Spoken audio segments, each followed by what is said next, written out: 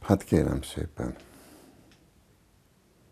Bármennyire is meglepő, azzal kezdeném, hogy én nem vagyok művész.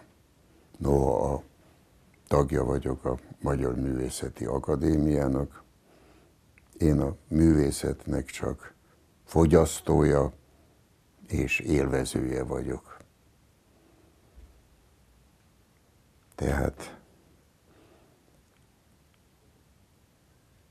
a létezésnek két fő kategóriája létezik, nevezetesen a, a tér és az idő. Én mind a kettőről szólnék, arról a térről, ahol leéltem életemet, és arról az időről, az, arról a 85 évről, ami az időben telt el. A tér az kicsi, két erdélyi falura és két erdélyi városra korlátozódik.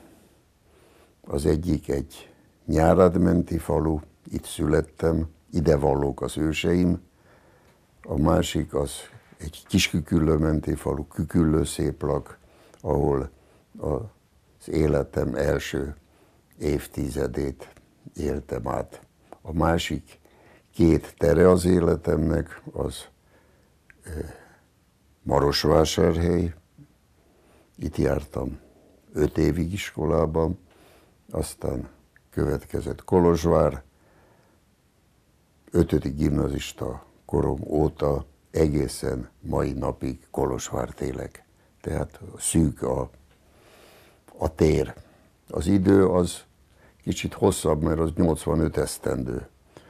Annak a tagolódása is érdekes, mert az mondjuk az első korszaka az a klasszikus nagy-romániai kisebbségi idő születésemtől 1928-tól tart 1940-ig.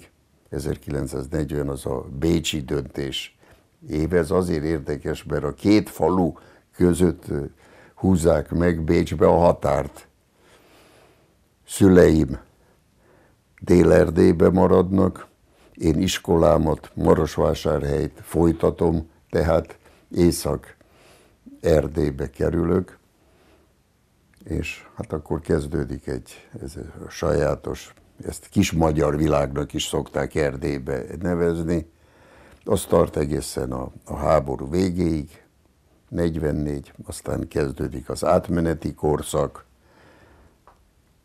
mondjuk úgy a 40-es évek végéig, a proletár diktatúrának a kezdetéig, azután a, az a korszak érdekes módon nem Romániában történik, de az 1956 mint esemény meghatározó lesz az életemben, bár csak mondom, rádión keresztül értesülök arról, hogy mi történik Magyarországon és Budapesten.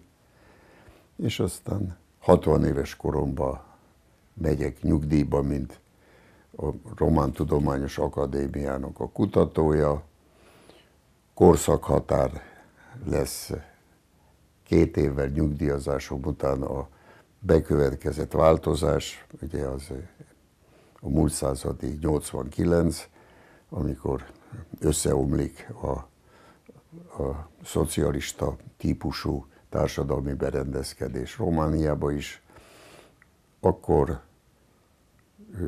közéleti szerepvállalás is feladatomul adódik. Szervezője, majd alelnöke, illetve elnöke leszek az Erdély Magyar, az Erdély Buzom Egyesületnek, a legjelentősebb Erdély Magyar Tudományos Intézménynek, és mai napig most már minden közfunkciótól mentesülve élem az öreg emberek életét.